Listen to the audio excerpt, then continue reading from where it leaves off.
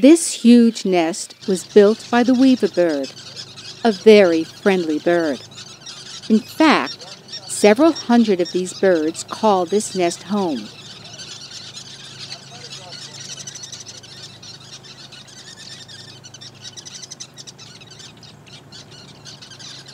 Not surprising, their official name is the social weaver bird. You have to wonder how such small birds can build such a huge nest. But all is not well in Weaver City. The birds are nervous, and for a good cause. A Cape Cobra has come for an evening meal of eggs and chicks.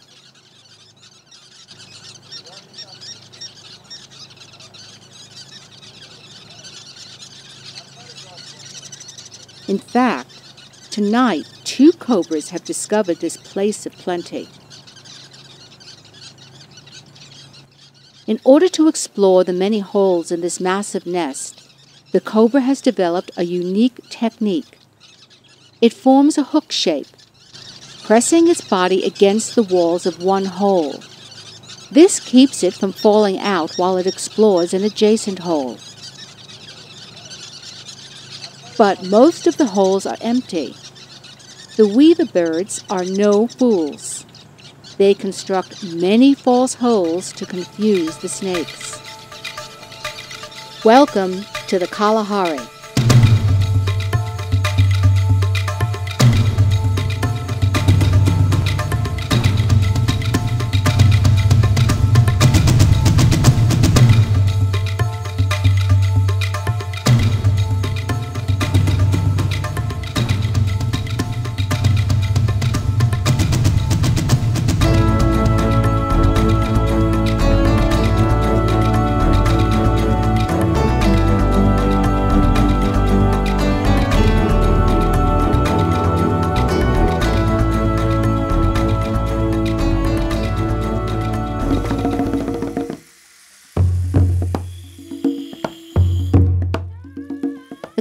Kalahari Transfrontier Park, at the southern end of one of the oldest deserts in the world, is home to several prides of majestic Kalahari lions. It is also an excellent place to observe meerkats in the wild and to photograph a wide range of grazing animals. Covering an area of almost 14,000 square miles, it is one of the largest conservation areas in the world, with land in both Botswana and South Africa.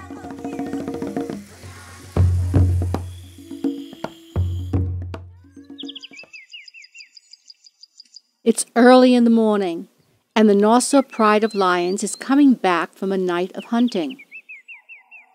This group, which hangs out near the dried out Nossob riverbed, contains one male, two females, and five young ones, all under the age of three. Once a male lion reaches the age of three, he will be pushed from the pride to go out on his own.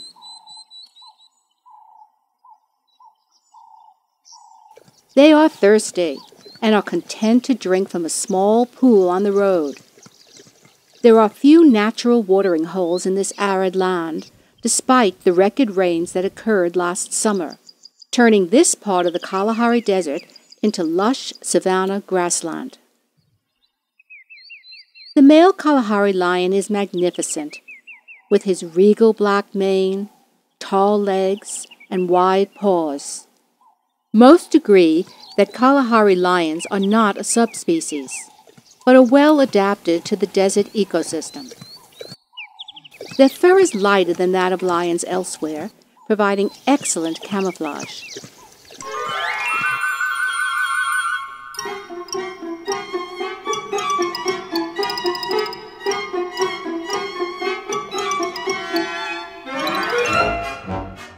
It is still cool, so the young lions are restless, eager to get in a few hours of play before settling down for their day long rest. Lions can sleep more than 18 hours each day. Most mature lions in African game parks pay no attention to the vehicles, having grown up in their presence. These young lions, however, appear to be very curious viewing our car as a plaything.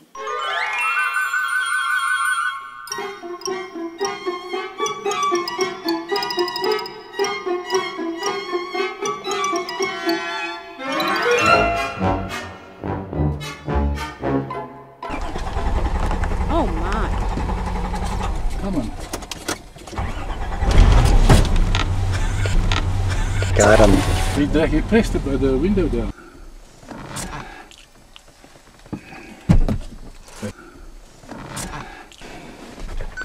Look at this, my goodness. Do you know what footage this is?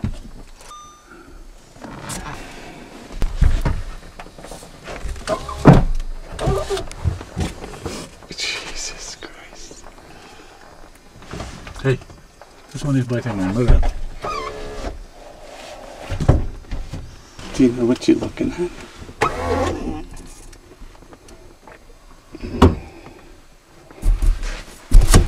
Don't Careful. I wanted to close it all the way. You just don't break it, then I will have to do. drive away.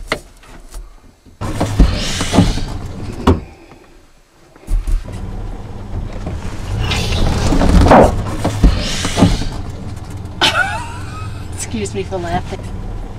Sorry?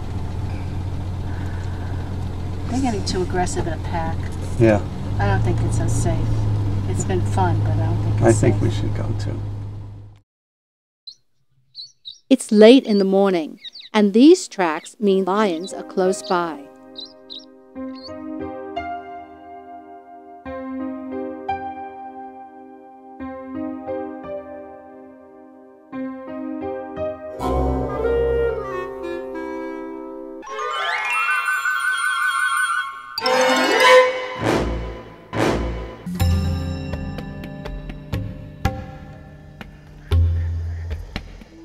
This is the Auob River Pride, just settling down right next to the road. They'll be here all day, resting up for the evening hunt.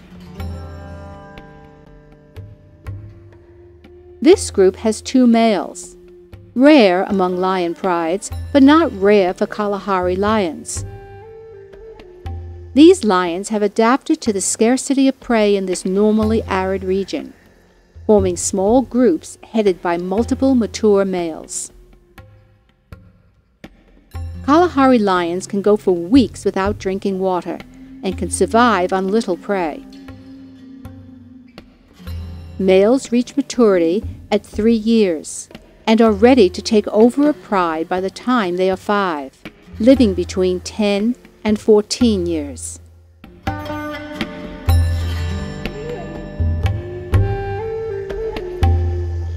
Lions reproduce from the age of three. They don't have a seasonally determined breeding time, but mate as soon as the female is mature. Gestation takes 105 days, when two or three cubs are born. Under the hard living conditions of the Kalahari, mortality amongst the cubs is very high.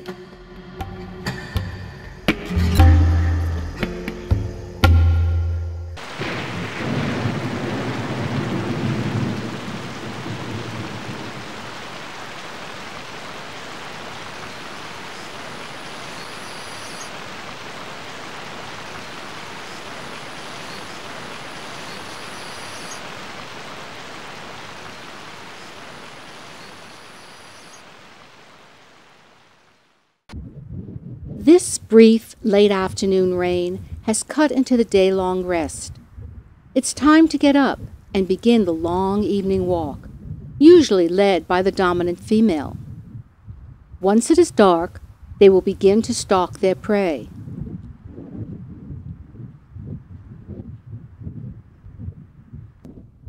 This is a serious part of the daily routine, with no time for diversions.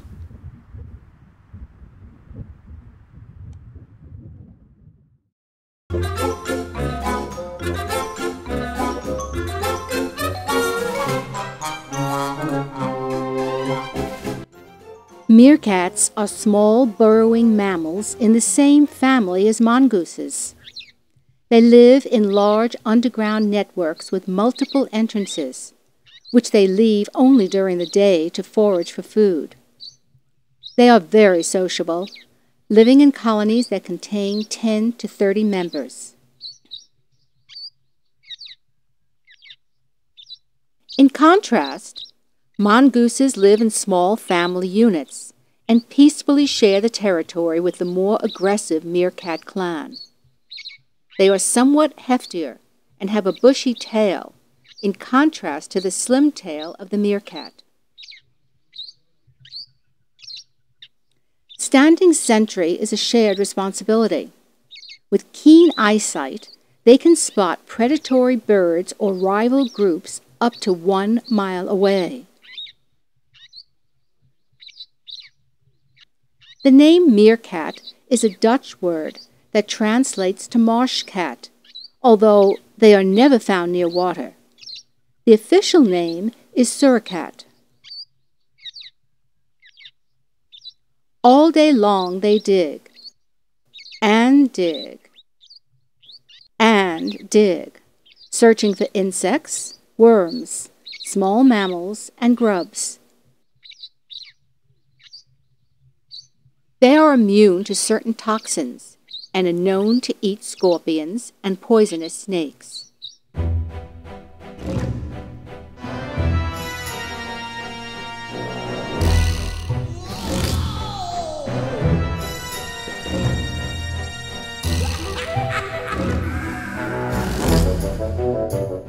Perseverance pays. The reward is a tasty grub.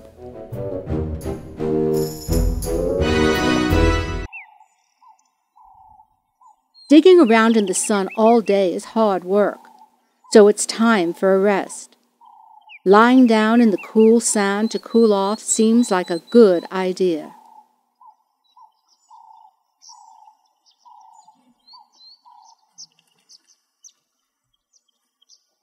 Meerkats are highly territorial and do not tolerate outsiders on their turf.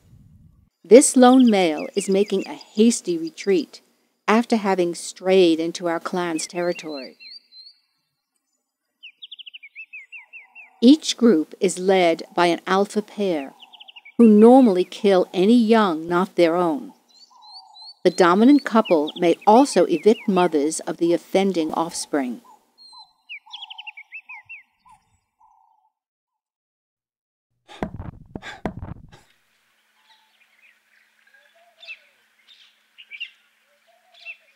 In a ritual common to most grazing animals, these springbok males are sparring for mating rights.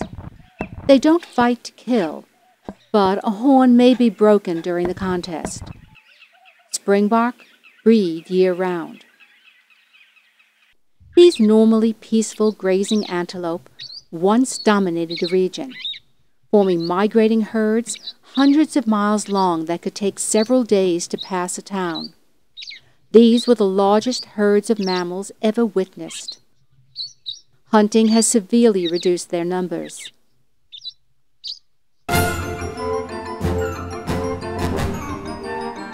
Apparently out of pure joy, young males jump up and down like bouncing balls in a behavior called pronking, which means showing off in Afrikaans.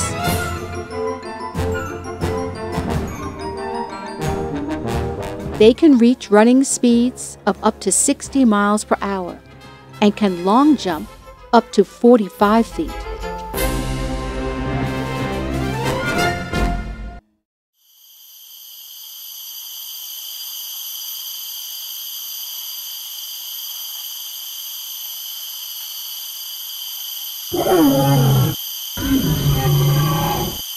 The pride is just outside our cabin. Male lions announce their location during the night to keep other lions away from their territory. This is very exciting, but we won't get much sleep tonight.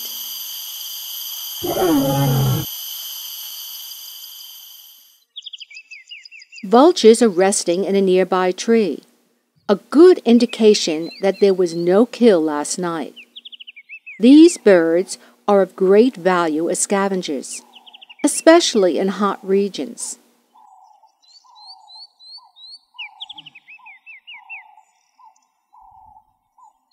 Lionesses are more agile and faster than males and do most of the hunting. Males are much bigger and defend the pride and territory, ranking first in line to feed. Male lions can weigh up to 400 pounds, with females 100 pounds lighter.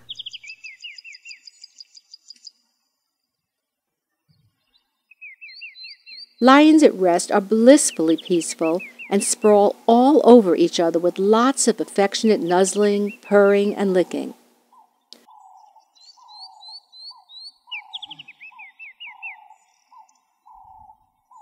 Pride females usually coordinate their reproductive cycles and collaborate in the raising and suckling of the cubs. Lion cubs are weaned at six months.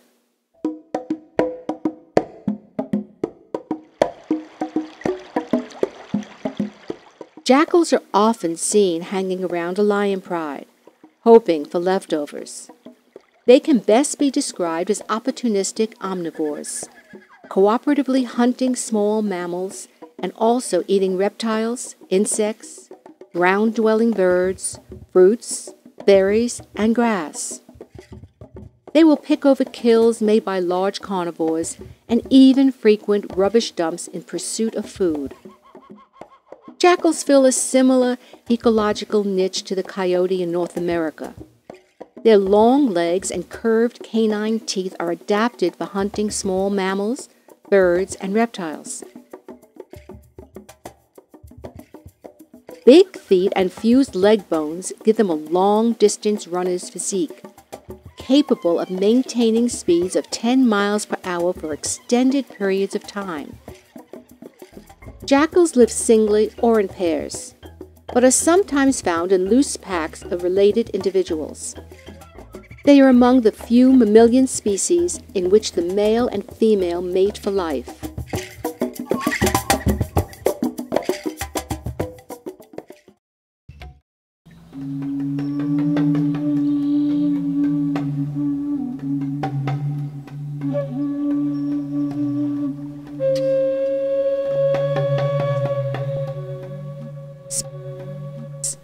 The twisting gyrations of these puff adders is part of their mating dance. But beware!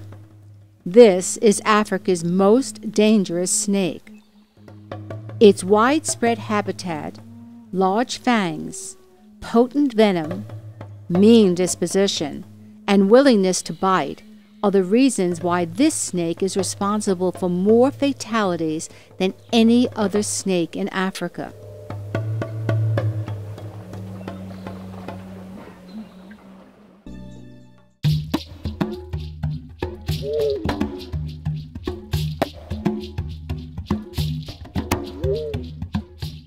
Early morning is the best time to view leopards, but the tall grass this season has made them very hard to find.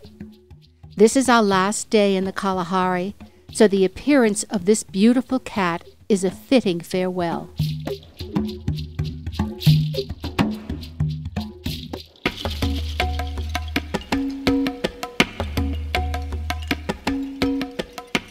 For more than 20,000 years, the San people have lived in harmony with the vast Kalahari Desert, getting most of their water from the native plants and desert fruits that survive in this arid region.